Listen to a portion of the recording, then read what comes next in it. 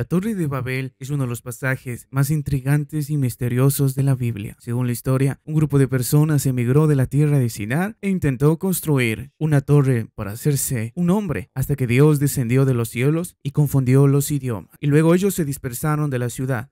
Pero, ¿se construyó realmente esta torre o solo fue un mito creado por los autores judíos posteriores? La Torre de Babel, arqueología bíblica.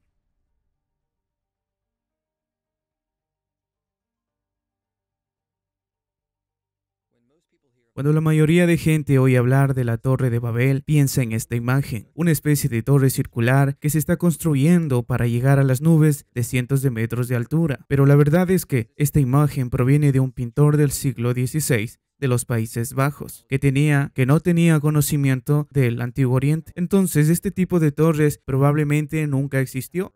La verdadera torre probablemente era algo completamente diferente a lo que hemos visto. Génesis 11 nos recuerda que este evento está sucediendo en la tierra de Sumer, o como la llaman los hebreos, Sinar. En la antigua Sumeria, las ciudades se construían alrededor de grandes estructuras religiosas llamadas sigurat. Los sigurats eran estructuras grandes en una plataforma elevada y estaban destinadas a ser el objeto más alto de la ciudad. Muchos académicos creen que estaban destinadas a funcionar como una puerta de entrada a los dioses, que ellos bajaran a la tierra desde los cielos y probablemente no estaban destinados a ceremonias religiosas que se habrían llevado a cabo en templos cercanos. En cambio, se trataba más de conectar los cielos y la tierra a través de las escaleras en los Sigurat. Por ejemplo, en Babilonia se le dio un título que significa los cimientos del cielo y de la tierra. El de Larsa significa templo que une el cielo y la tierra. Y el de Simpur significa escalera al cielo puro.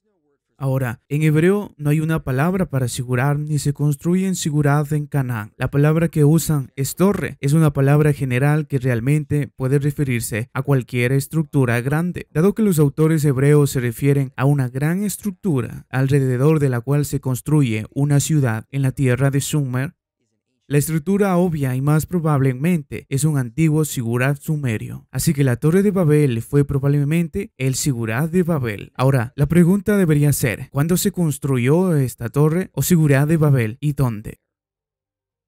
Hay algunas correlaciones interesantes en el texto que nos ayudan a ubicar el periodo de tiempo de la Torre de Babel y fortalecen la confiabilidad del relato bíblico.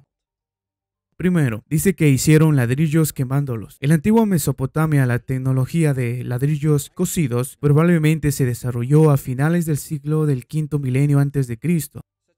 Antes, estos ladrillos no existían en Canaán porque no los necesitaban debido a la disponibilidad de piedras y otros materiales de construcción. Fue en el sur de Mesopotamia, las piedras grandes no estaban disponibles, por lo que, por la necesidad, se desarrollaron ladrillos cocidos para construir templos y otras estructuras.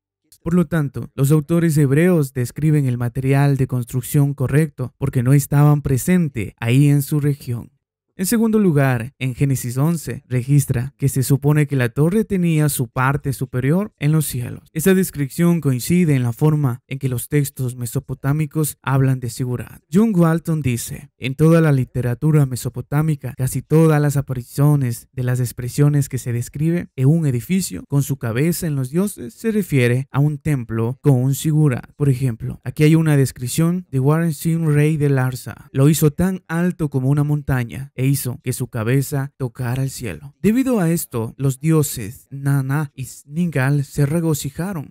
En tercer lugar, en Génesis 11, dice que la torre fue construida después de que la gente emigró del este. Eso podría ser posible en referencia a la llegada de los proto-sumerios a Mesopotamia. Algunos académicos piensan que los sumerios se originaron en la región pero eso es un poco probable. Su idioma es totalmente diferente a los idiomas regionales circundantes. Karen señala, el sumerio no está relacionado con ningún idioma vivo o vivo muerto. Jim Butero también señala en un texto antiguo llamado El mito de los siete sabios, según el cual la población del sur, que todavía era tosca y salvaje, había sido iniciada en todo lo que constituía la vida civilizada por seres extraños que vino por el mar.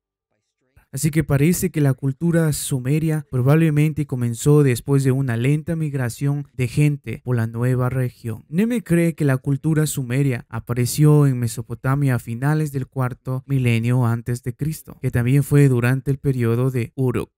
John Rose sugiere que el 3200 a.C. y el 3500 a.C. tal vez. Algunos estudios sitúan la llegada de los sumerios un poco más atrás, pero probablemente si llegaron en algún tiempo después del periodo de Ubaid y luego conquistaron la región y sus habitantes, trayendo consigo su idioma único y oscuro. Esto probablemente no sucedió de una vez y probablemente fue una migración gradual. Las personas emigraron, se mezclaron con lugareños para producir lo que ahora conocemos como la antigua Sumer.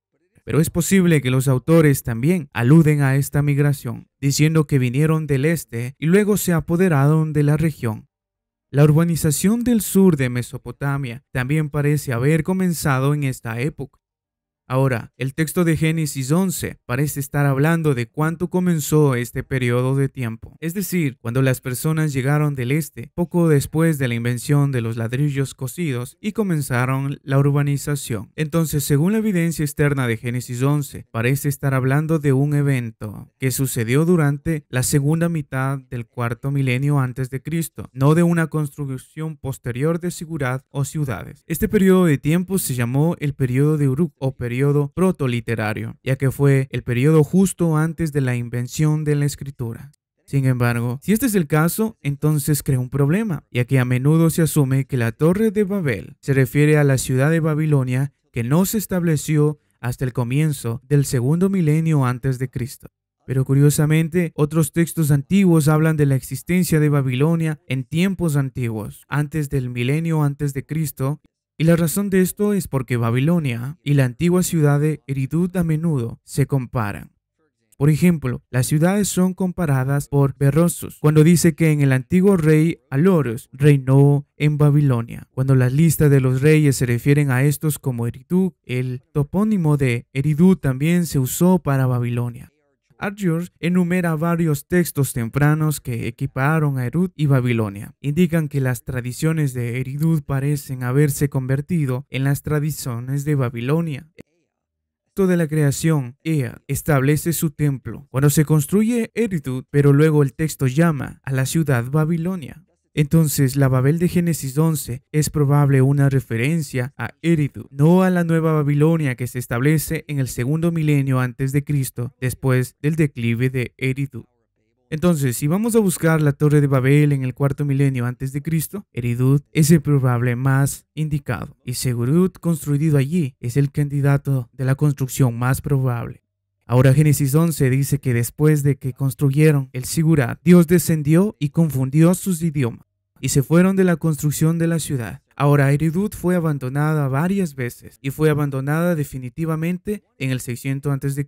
Un abandono importante ocurrió en el cuarto milenio antes de Cristo después de la construcción de un sigurat conocido como el Templo 1. Franz Sabrais excavó en Eridut y encontró evidencia de ocupaciones que se remontan a miles de años. El templo más antiguo se llama el Templo 16, tal vez tan antiguo como la ciudad misma, y con el tiempo se construyeron estructuras más grandes sobre él, ampliando el tamaño del sitio. El templo final fue construido en el periodo de Uruk, o en el cuarto milenio antes de Cristo y se le conoce como el Templo 1 y el Templo 2. Sin embargo, después de esto, la ciudad fue abandonada y repentina y abruptamente y nunca fue restaurada a su antigua gloria. Glogley dice, así de la noche a la mañana, Eridú fue completamente abandonada rápidamente enterrada bajo enormes montones de arena que llenaban los edificios de los desiertos. Y solo quedaba en pie el monte principal. El templo en sí fue reconstruido dos veces en el periodo protoliterario, como una isla en el desierto, pero la acumulación de arena suelta parece haber hecho inhabitable. El área que rodea el montículo principal, cuando después de algunos siglos la zona volvió a estar habitada. La población eligió otro lugar aproximadamente a un kilómetro al norte, e hicieron pocos esfuerzos para reconstruir el santuario en el montículo principal. El sitio se volvió a ser importante a principios del periodo dinástico 2. En otras palabras, la ciudad de Eridud fue abandonada durante el periodo Uruk, a pesar de que el sitio de culto todavía estaba en uso. Otro estudio arqueológico realizado por Henry Gray registra que los periodos posteriores al periodo de Uruk tienen poca evidencia de ocupación. Es lamentable que los complejos de la dinastía 3 estén indicados principalmente por la ausencia de cosas, ya que es difícil establecer su presencia a menos que formen el completo dominante en un sitio. Shafar está de acuerdo. Esta fue la situación de Eridut durante la primera mitad del periodo de Uruk, que parece haber sido llevada a una conclusión para nada menos que un evento que el abandono total del sitio. En otras palabras, los datos arqueológicos sugieren que Eridut fue abandonada repentinamente durante el periodo de tiempo del Templo I y la estructura en Sigurat solo se restauró por completo en el periodo dinástico temprano. La evidencia muestra que la combinación del Templo I y II creó una estructura masiva en el centro de Eridut, dedicada al dios Enki, también llamado Ia. Schaffer también señala que hay evidencia de que la estructura fue construida con ladrillos horneados. Luego, la evidencia sugiere que durante el cuarto milenio antes de Cristo o en el periodo de Uruk, Eridu fue repentinamente abandonada, dejado atrás en este enorme complejo de Sigurat. Luego, lo vemos son reyes posteriores durante la tercera dinastía, Ur, reconstruidos sobre Sigurat y agregados al complejo general. Ahora, si haces tu investigación, encontrarás que Shafar observa que el templo y el complejo de Sigurat que estaban en Irut no fue abandonado, mientras en la ciudad sí. En otras palabras, tenemos evidencia de que el complejo de Sigurat se utilizó después de que la ciudad fuera abandonada en varias ocasiones. Más tarde, en el periodo de protoliteración, hasta la época 3 de la dinastía de Ur, cuando Amar Sin la restauró.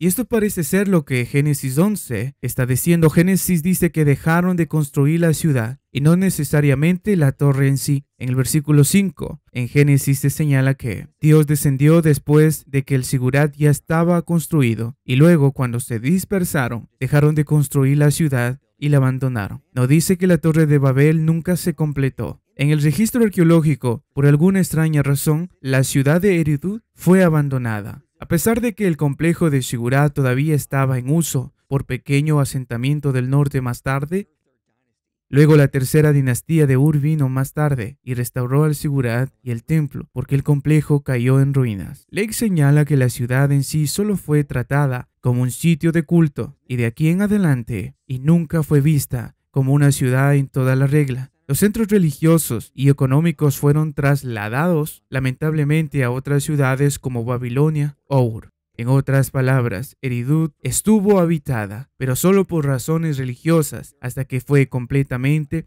abandonada durante el periodo neobabilónico y nunca fue restaurada en su antigua grandeza como lo fue en el periodo protoliterario. Además, a pesar de que el complejo de Sigurad estaba todavía en su uso posterior durante el periodo protoliterario, Sender nota que el complejo de Sigurad cayó en la ruina, ya que fue abandonado temporalmente y por un momento en que la ciudad misma fue abandonada.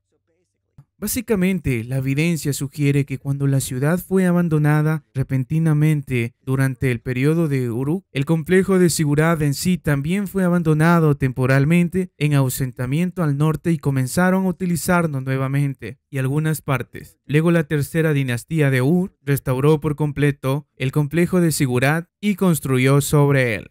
Pero todo esto parece ser una correlación bastante fuerte con el registro arqueológico de lo que registra en Génesis 11. Una ciudad más antigua, conocida también como Babel, construyó un seguridad masivo con ladrillos cocidos, y luego el sitio fue abandonado repentinamente y nunca fue restaurado a su antigua gloria a pesar de que se estableció una nueva ciudad de Babel en un lugar diferente. Ahora, las correlaciones por sí solas no, no prueban que sucedió el evento registrado en Génesis 11. Sin embargo, tampoco se puede suponer que la Torre de Babel fue solo una invención mítica destinada a atacar a Babilonia durante el exilio judío. El texto de Génesis 11 está escrito de una manera que describe un evento real en el pasado. Podría haber sido escrito de una manera para atacar el imperio posterior de Babilonia, pero los autores parecen estar usando un evento histórico en el pasado para hacerlo, no una invención ni una leyenda entera. Y dado los datos arqueológicos, muy bien podría haber sucedido durante el periodo de Uruk, del que la ciudad posterior de Babilonia afirma haber descendido. Entonces, a pesar de los críticos, tenemos una buena evidencia. La historia de la Torre de Babel podría haber sido un evento histórico real que tuvo un lugar en el periodo protoliterario.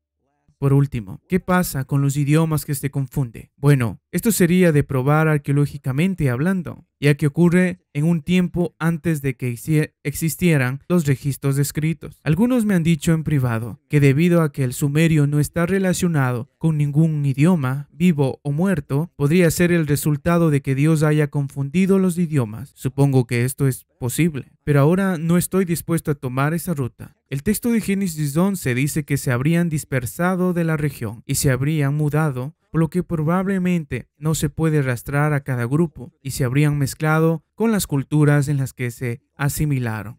El único otro texto que podría insinuar este evento es la epopeya sumeria. Algunos académicos creen que este texto está hablando de un evento futuro, pero Samuel Noel Kramer creía en él. Pero Samuel creía que el texto se refiere a un tiempo en el pasado, cuando todas las personas adoraban a Enli en una sola lengua, hasta que su rival, el dios Enki, bajó y confundió los idiomas. Enki era la deidad patrona de Eridud, a la que se hace referencia en el texto también que habla de Emer hablando, construyendo la enorme ciudad de Eridud, que será una montaña sagrada y una morada para los dioses. Por lo tanto, el texto alude a una conexión con Eridud, pero todo esto depende de la idea que la traducción de Kramer es la correcta, lo cual tenemos que reconocer que todavía está en disputa.